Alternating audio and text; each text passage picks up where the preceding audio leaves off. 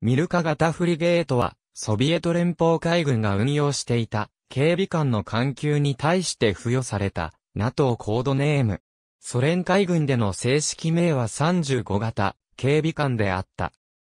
また、ミサイル艇とともに、コルベットに分類されている場合もある。原型と改良型があり、それぞれ35型、35M 型と称される。監修原側からの写真。ソ連は、全球ペチャ型フリゲートにおいて、初めて、ガスタービニエンジンを導入した。本級では、その改良型のエンジンを搭載し、ディーゼルエンジンの出力も2倍として、燃費と航続距離の改善も図った改良型として、並行建造されることとなり、1964から67年に18隻が竣工した。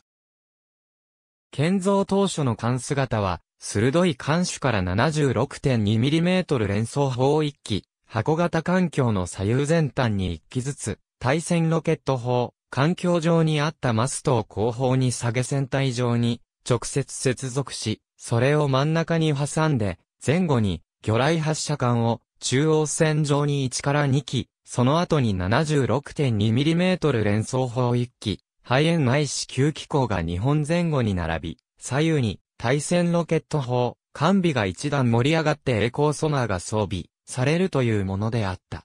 その後の改装で大きく2タイプに分類されるようになった。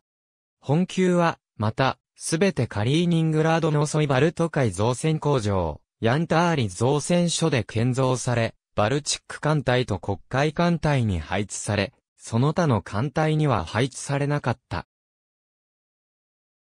すべて旧ソ連邦海軍で運用されており、同盟諸国に貸与された艦はなかった。なお、本級を発展させたコニ型フリゲートでは少し、艦姿が大きくなり、14隻が収益して、すべて同盟諸国に対し輸出された。